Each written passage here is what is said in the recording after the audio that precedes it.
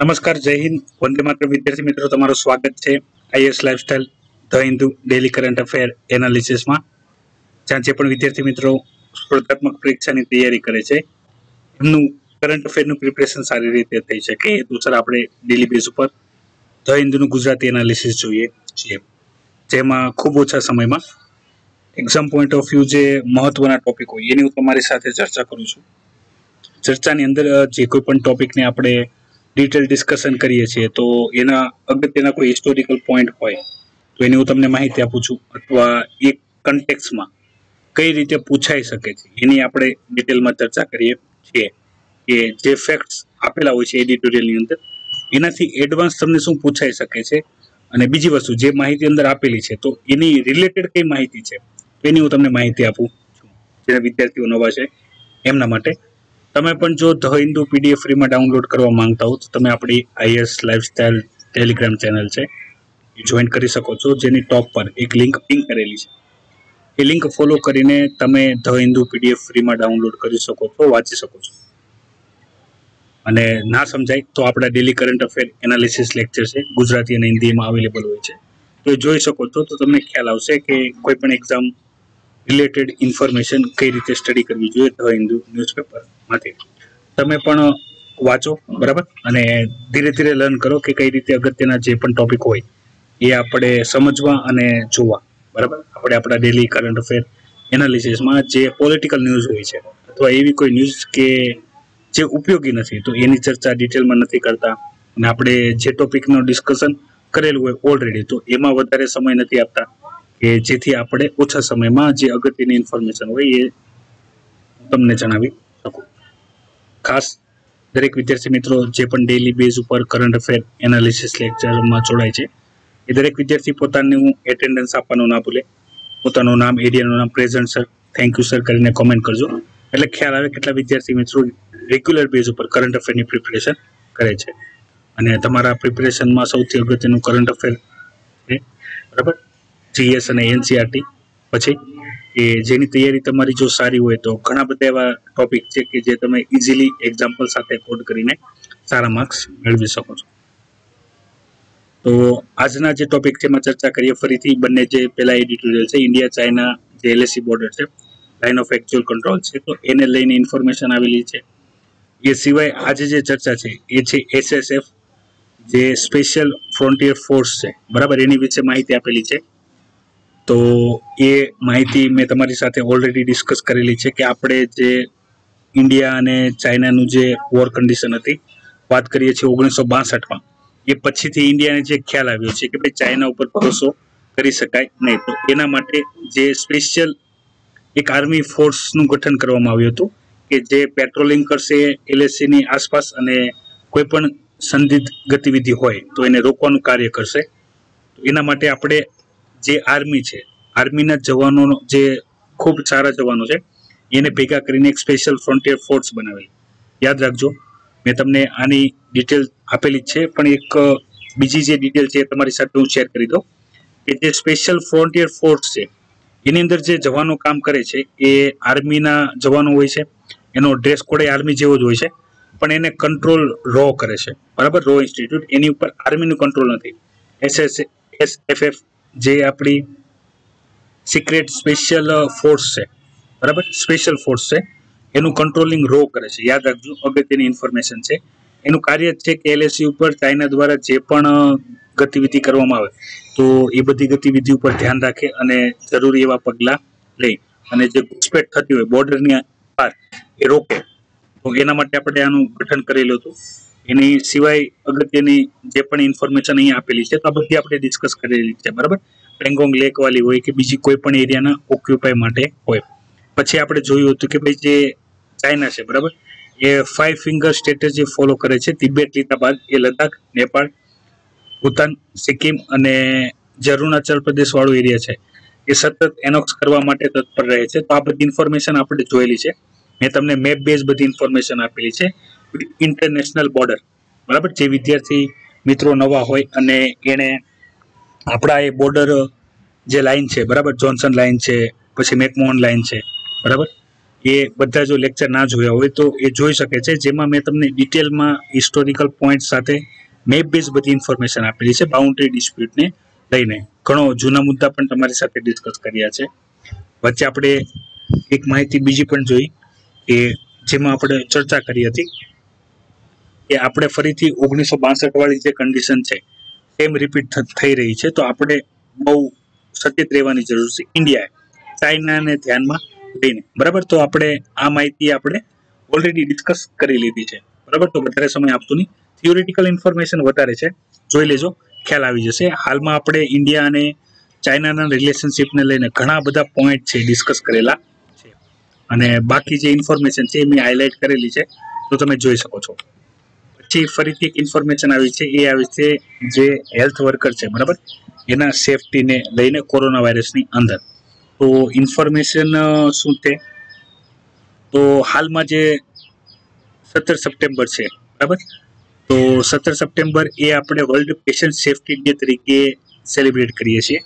તો એ દિવસે જે ડબ્લ્યુએચઓ છે, તો એના દ્વારા જે હેલ્થ વર્કર છે, તો એની એક થીમ બેઝ કામ કરવામાં આવ્યું છે કે health worker safety priority for patient safety તમે સમજી શકો છો કેવા શું માગે છે? મતલબમાં કોરોના વાયરસની અંદર આપણે જે કોરોના વોરિયર તરીકે આપણે જોતા, બરાબર? તો એમાં ડૉક્ટર નર્સ પછી કમ્પાઉન્ડર જે પણ મેડિસિન સાથે કામ કરે ફાર્માસિસ્ટ તો આ બધા એવા હતા કે જે રોગ સામે લડવામાં સક્ષમ હતા, બરાબર? પેશન્ટને બચાવવા માટે સતત કાર્ય કરી રહ્યા હતા. તો આપણે જોયું હતું. તો અહીંયા થીમનો એક જ જે ટાર્ગેટ છે, એ ટાર્ગેટ એવો કહે છે, જેનું પોઈન્ટ છે એમ છે કે ભાઈ આપણે પેશન્ટ છે કોરોના વાયરસ એને તો બચાવવાના જ છે, પણ એને જે બચાવે છે, જે હેલ્થ વર્કર બચાવે છે ડોક્ટર છે નર્સ છે, બરાબર? હોસ્પિટલના કોઈ પણ કર્મચારી છે વોર્ડ બોય છે, એ બધાની સેફટી પણ જરૂરી છે. તો આપણે એને પણ ધ્યાન રાખવું જોઈએ. જો એ હશે તો આપણે કોરોના વાયરસની જે જંગ છે, એની અંદર લડી શકશું. બરાબર? તો એ બધા થિયોરિટિકલ પોઈન્ટ અહીંયા ડિસ્કસ કરવામાં આવેલા. છે એક પછી એક. તો થિયોરિટિકલ ઇન્ફોર્મેશન છે એક્ઝામ પોઈન્ટ ઓફ વ્યૂ એટલું બધું અગત્યનું ઇમ્પોર્ટન્સ ના કહી શકાય. અને આ બધા ટોપિક આપણે ડિસ્કસ કરેલા છે, કોરોના વાયરસની આપણે જે ઇન્ફોર્મેશન ચર્ચા કરી છે, તેની અંદર. બરાબર? તો એકવાર વાંચજો થિયોરિટિકલ ઇન્ફોર્મેશન જ છે, ખ્યાલ આવી જશે. ના ખ્યાલ આવે તો કોમેન્ટ કરજો. તમે પણ તમારા વ્યૂ જણાવી શકો. છો અહીંયા જે કહેવામાં આવી જે ઇન્ફોર્મેશન કહેવામાં આવી છે પ્રેક્ટિકલ છે કે ઇમ્પ્રેક્ટિકલ ઘણી વખત હું તમને મારી દ્રષ્ટિએ પણ ઘણી ઇન્ફોર્મેશન આપતો હોઉં છું કે ભાઈ અમુક કોઈ ઇન્ફોર્મેશન હોય, એ ભલે લખેલી છે અથવા આપેલી છે, પણ એનું એટલું બધું પ્રેઝન્સ છે નહીં. ફરીથી જે એનજીઓનું એફસીઆરએ રજિસ્ટ્રેશન છે, એની ડિટેલ આવેલી છે, તો એક રિકેપ જોઈ લઈએ કે જે ફોરેન કન્ટ્રીબ્યુશન રેગ્યુલેટિંગ એક્ટ છે, કે જેની અંદર જેટલા પણ એનજીઓ છે, કે જેને શું કરવું જોશે રજિસ્ટર કરાવવું જોશે અને તેને એસબીઆઈની અંદર એક એફસીઆરએ એકાઉન્ટ બનાવવું પડશે, જે ફોરેનથી જે પણ કન્ટ્રીબ્યુશન આવે છે, ઇન્ડિયામાં ઇન્ડિયન એનજીઓ પાસે. તો એની અંદર એ બધી ડિટેલ રાખવી જોશે. એ ડિટેલ જે આપણે હોમ અફેર્સ છે, બરાબર? એની સાથે શેર કરવી જોશે ઓડિટિંગ કરાવવું જોશે. એ બધા જેટલા પણ ફંડિંગ આવે છે એનજીઓ પાસે, ભારતની અંદર, એમાં. આવું કરવાનું કારણ શું છે? તો એની આપણે ચર્ચા કરી હતી, બરાબર? કે ભાઈ, જે ફોરેનથી ફંડિંગ આવે છે, બરાબર? જરૂરી છે કે એ ફંડિંગ જે પણ એનજીઓને આપવામાં આવે છે એનજીઓ દ્વારા કોઈ પણ અનૈતિક પ્રવૃત્તિ ના કરવામાં આવે, બરાબર?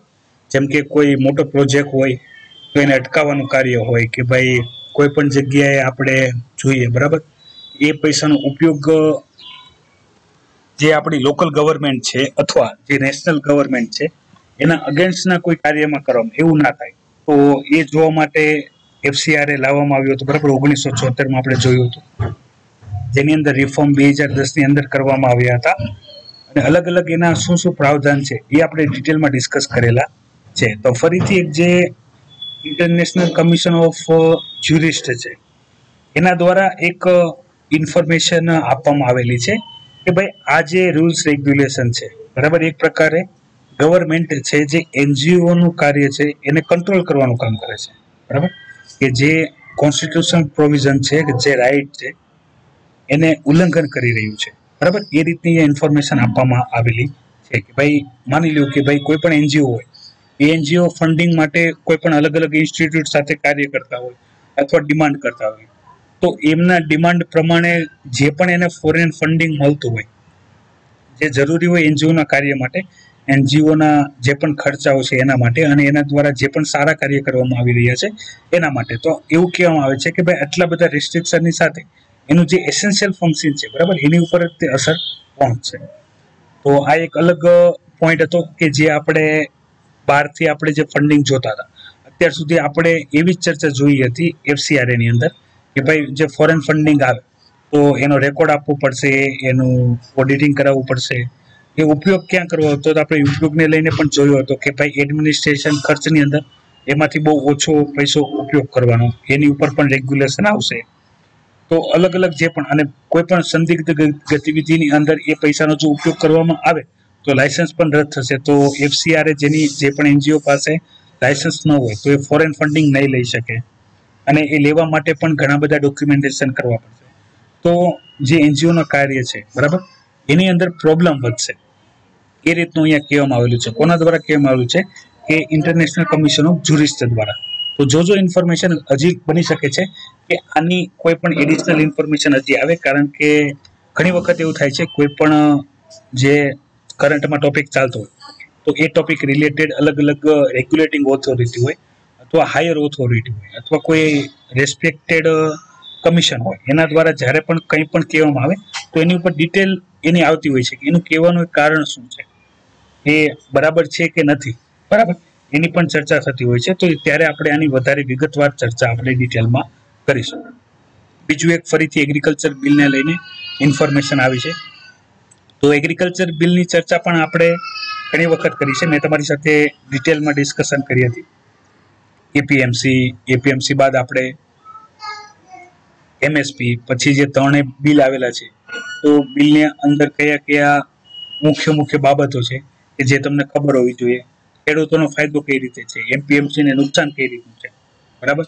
લાયસન્સ રાજ શું છે એપીએમસીમાં એ બધી આપણે ડિસ્કશન કરી હતી. અહીંયા જે એક મુખ્ય જે પોઈન્ટ આવ્યો છે કે ભાઈ આના એપીએમસી ને જો આ એગ્રીકલ્ચર બિલ બાયપાસ કરશે, બરાબર? તો જે પ્રાઇવેટ પ્લેયર છે એને વધારે ફાયદો થશે. પ્રાઇવેટ પ્લેયરની અંદર તમે મોટા મોટા કોર્પોરેટ ઇન્સ્ટિટ્યૂટ છે, એને વધારે બેનિફિટ થશે એપીએમસીની બહાર ઓપન માર્કેટમાં કે જ્યાં એ ખેડૂતો પાસેથી ડાયરેક્ટ વગર એપીએમસી બરાબર? ઘણી વખત કેવું થાય છે મેં તમારી સાથે એક જનરલ ઇન્ફોર્મેશન શેર કરી હતી કે ભાઈ કોઈ પણ પાક છે, એમાં આપણે એક્ઝામ્પલ તરીકે બટેકા લઈ લઈએ, બરાબર?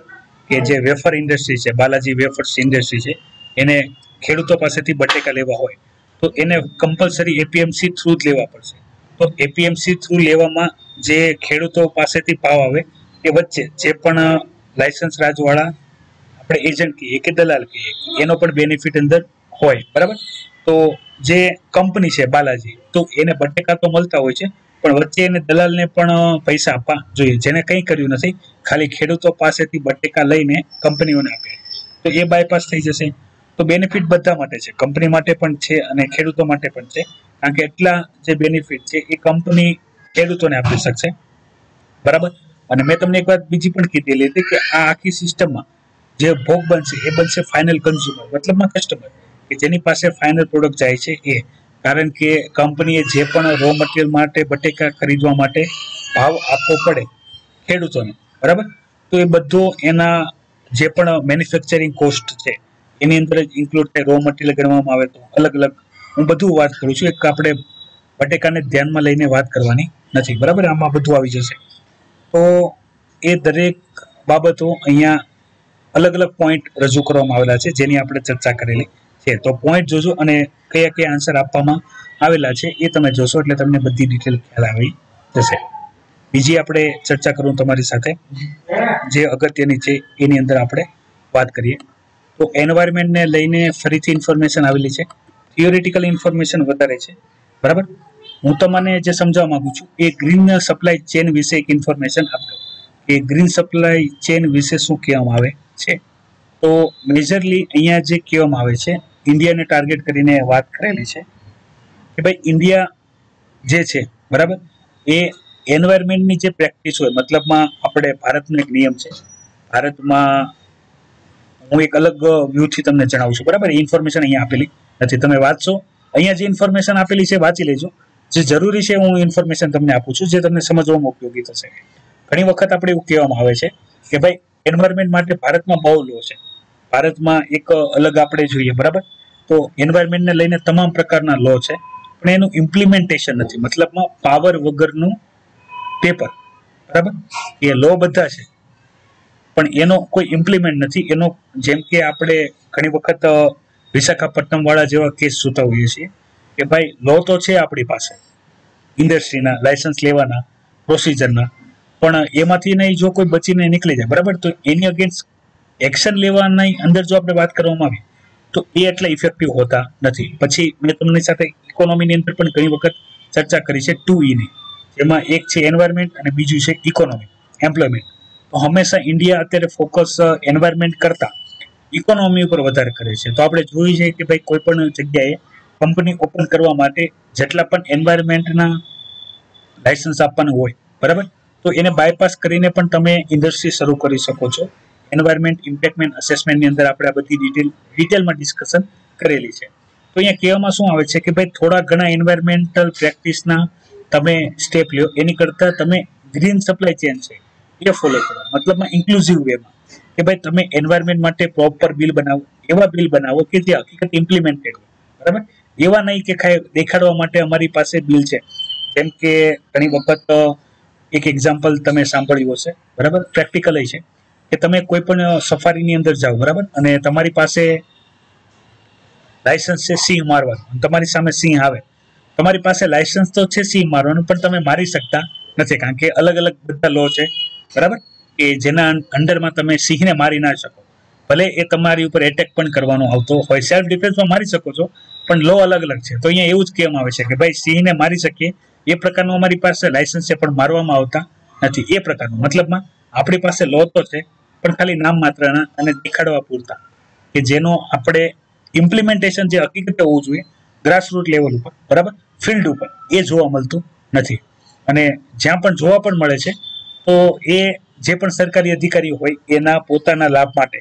બરાબર? હકીકતે તોડ કરવાનો તે કામ હોય. એવા તોડ કરો, એટલે એ કામ થઈ જતું હોય. એવું આપણે ઘણી બધી ડિપાર્ટમેન્ટમાં તમે જોશો.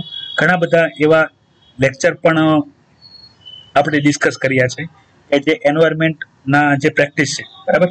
એની ઉપર આવેલા હોય અને આપણે ચર્ચા કરી ખાસ કરીને તમારે એનજીટીના જેટલા પણ એક્શન લેવાતી હોય છે એનજીટી જેટલા ડિસિઝન લેતું હોય છે, અલગ અલગ જેટલા પણ ડેલી બેઝ ઉપર આવતા હોય, તો લખવાનું રાખજો જે તમને એન્વાયરમેન્ટની અંદર જે પ્રેક્ટિસ કરવામાં આવે છે, બરાબર? તો એમાં તમે લખી શકો. બીજું પિક્ચરની અંદર દર્શાવવામાં આવ્યું છે કે અત્યારે પાર્લામેન્ટ મોન્સૂન સેશન પૂરું થશે. તો ઘણા બધા બિલ છે જે પાસ કરી લેવામાં આવ્યા છે, બરાબર? તો એ રીતની ઇન્ફોર્મેશનને હાઇલાઇટ કરે છે.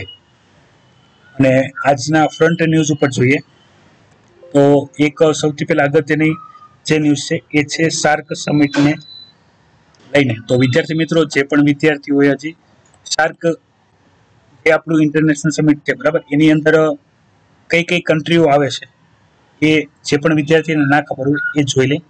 તો એ કન્ટ્રીઓની અંદર ઇન્ડિયાનો રોલ ખૂબ જ સારો છે. બરાબર? ઇન્ડિયા સૌથી લીડિંગ કરે છે. અને ઇન્ડિયાના જેટલા પણ પાડોશી દેશ છે જે સાર્ક સમિટની અંદર આવે છે, તો એને હેલ્પફુલ થાય, એના માટે ઇન્ડિયા સતત કાર્ય કરતું હોય છે. તો એની અંદર હાલમાં જ તે આપણે જે SCO Shanghai corporation of organisation પણ એક મિટિંગ થઈ, જેમાં પણ પાકિસ્તાન હતું અને સાર્કની અંદર પણ પાકિસ્તાન છે. તો એના દ્વારા જે ખોટા મેપ રજૂ કરવામાં આવ્યા હતા, એ ટોપિક આપણે ડિસ્કસ કરેલો છે. તો એ જ વસ્તુ અહીંયા કહેવામાં આવે છે કે ભાઈ જે સાર્કની અંદર ઇન્ડિયાનું જે કાર્ય હોય છે, બરાબર? એને હંમેશા શું કરવામાં આવે છે? એનું પ્રેઝન્સ ઘટાડવાનું કાર્ય કરવામાં આવે છે કોના દ્વારા? પાકિસ્તાન દ્વારા. હું તમને જેટલા પણ અગત્યના પોઈન્ટ છે એ ડિસ્કસ કરું છું. બાકી પોઈન્ટ તમે અહીંયા વાંચી લેજો, તમે સમજી જશો કે આખે આખો મુદ્દો છે કયા ક્યાં ચાલે છે. તો સાર્ક સમિટની અંદર ઇન્ડિયાએ ફરીથી ટેરરિઝમ વાળો મુદ્દો ઉપાડ્યો, પાકિસ્તાને જમ્મુ કાશ્મીર વાળો મુદ્દો ઉપાડ્યો, બરાબર? અને એની બધી ચર્ચા થઈ. તો એ પાકિસ્તાન છે, એ ઇન્ડિયાના કામને હંમેશા ઘટાડવાનું કામ કરતું હોય છે સાર્કની અંદર. અને એને આવું કરવા માટે જે પણ ઇન્ફોર્મેશન કે બીજા કોઈ પણ અગત્યના જે સપોર્ટની જરૂર હોય તે ચાઇના કરતું હોય છે. ચાઇના ઈચ્છે છે કે ઇન્ડિયાનું જે પ્રેઝન્સ છે, એ શાર્ક જે છે, બરાબર? એની અંદર શાર્ક કોર્પોરેશન છે, એની અંદર વધવું જોઈએ. નહીં નહીં તો જે એશિયન કન્ટ્રીની અંદર ઇન્ડિયા છે, એક મહાસત્તા તરીકે ઉભરીને આવી શકે છે. તો એ પ્રકારની દરેક ચર્ચા અહીંયા કરેલી છે. તો જોઈ લેજો. બીજું હાર્લી ડેવિડસન છે. એને પોતાનો ઇન્ડિયાનો પ્લાન છે એ બંધ કર્યો છે. તો બંધ કરવાનું કારણ શું છે એની ચર્ચા કરેલી છે. એમનું જે અત્યારે યુનિટ છે, બહુ ઓછા ઓછા વેસે જે સેલિંગ છે એ ઘટી રહ્યું છે. બીજી વસ્તુ, એના પ્રાઇસ જે છે એ ઇન્ડિયન માર્કેટ પ્રમાણે સુટેબલ નથી. બરાબર? ઘણા શોખીન હોય બાઇકના પણ બાઇક જ એટલી મોંઘી હોય મતલબમાં ચાર લાખ, પાંચ લાખની ખાલી બાઇક જ હોય.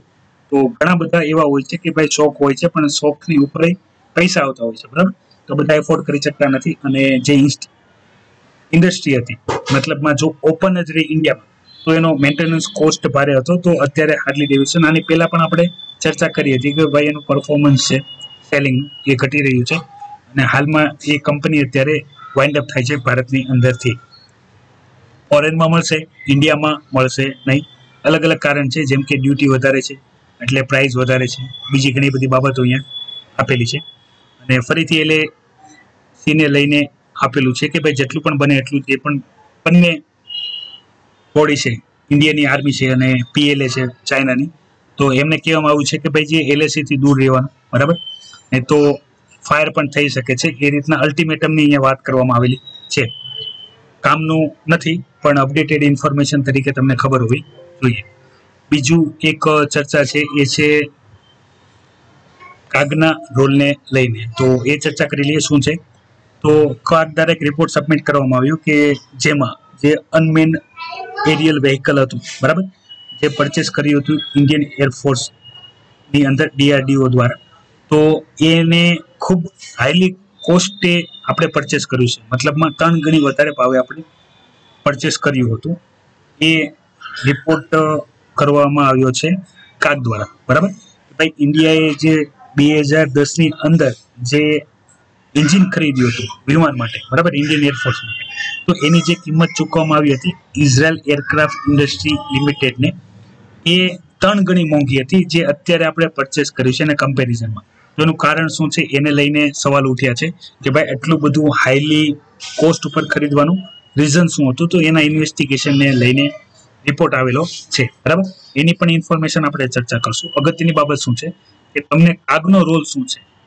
એને લઈને ક્વેશ્ચન આવી શકે છે. તો આવા બહુ ઘણા ઓછા એવા એક્ઝામ્પલ હોય છે, જે આપણે એટોર્ની જનરલ સોલિસિટર જનરલ અને કાગના જે પણ કામ હોય છે, બરાબર? એ આપણી સામે આવતા હોય છે. તો આવા બેસ્ટ એક્ઝામ્પલ હોય છે, એ તમે નોટ્સ પણ કરી શકો છો. અને એમનો રોલ શું છે? ઇન્ડિયાની અંદર ડેમોક્રેસીની અંદર. અને જે એકાઉન્ટિંગ છે, એને લઈને. તો એ બધા ટોપિક પૂછાઈ શકે છે. લાસ્ટલી આપણે બે હજાર અઢારની ઓગણીસથી જોઈએ. તો એટોર્ની જનરલ અને કાગના રોલને લઈને પણ ક્વેશ્ચન આવે છે. તો તમને ઉપયોગી થશે. તો આ જે, આવા જે એક્ઝામ્પલ હોય, એ તમે ત્યાં કોડ કરી શકો છો. જરૂરી નથી તમને આ ટોપિક ઉપર જ પૂછે, બીજા પણ પૂછી શકે છે. પણ તમને ખબર હોવી જોઈએ. અને ફરીથી જે આપણે યુનાઇટેડ નેશનની અંદર રિફોર્મની વાત કરીએ છીએ, તો એને લઈને જે પરમનન્ટ નેશન છે. બરાબર? એની ઇન્ફોર્મેશન આવેલી છે કે ભાઈ એવું ના થાય કે આપણે યુનાઇટેડ નેશનની અંદર રિફોર્મ લાવીએ બરાબર? તો એ જે રીતે કાર્ય કરી રહ્યું છે, એને આપણે પાટાથી નીચે ઉતારી દઈએ. અને એની જે યોગ્ય ઇમ્પ્લિમેન્ટેશન હોય, જે રીતે એનું કાર્ય કરવાનું હોય, એ રીતે ના થાય. તો એ બધી ઇન્ફોર્મેશનની ડિટેલમાં ડિસ્કશન અહીંયા કરવામાં આવેલી છે.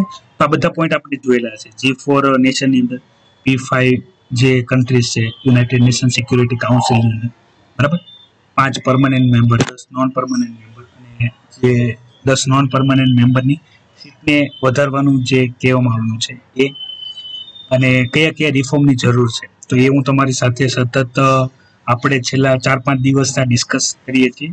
ત્યારથી યુનાઇટેડ નેશનના યુએન સેવન્ટી ફાઈવ જે કાઉન્સિલની અંદર રિફોર્મની વાત કરવામાં આવે છે. તેની અંદર મેં તમને ચર્ચા કરી. આની સિવાય પણ ઘણી અપડેટેડ આવશે. ચેન્જીસ થાય છે કે નથી થતા. અને પરમનન્ટ મેમ્બર વધે છે તો વિથ વીટો પાવર વધે છે કે નથી વધતા, એ પણ આપણે જોવાનું રહ્યું. વિદ્યાર્થી મિત્રો, આ હતી અગત્યની આજની તમામ ઇન્ફોર્મેશન આની સિવાય પણ ઘણી બધી અલગ અલગ ન્યૂઝો આપેલી છે, તે જોઈ લેજો. જે અગત્યના હતા, એની મેં ડિસ્કશન તમારી સાથે કરેલી છે. ઘણા બધા રિપીટેડ ટોપિક હતા. બરાબર? તેની ઓલરેડી આપણે ડિટેલમાં ડિસ્કશન કરેલું છે. આજ તમારું અટેન્ડન્સ આપવાનું ભૂલતા નહીં. જે પણ વિદ્યાર્થીઓ જ્યાંથી પણ છે, બરાબર? તો પોતાનું નામ, એરિયાનું નામ થેન્ક યુ અને પ્રેઝન્ટ સર કરીને કોમેન્ટ કરજો. એટલે ખ્યાલ આવે. તો અંત, વિદ્યાર્થી મિત્રો, અંતે તમે બધા કરો. મજા અને મને આપો. રજા. લાઈવ લેક્ચરમાં જોડા બદલ આભાર. જોતા રહો. આઈએસ લાઈફસ્ટાઈલ યુટ્યુબ ચેનલ જય હિન્દ. વંદે માતરમ.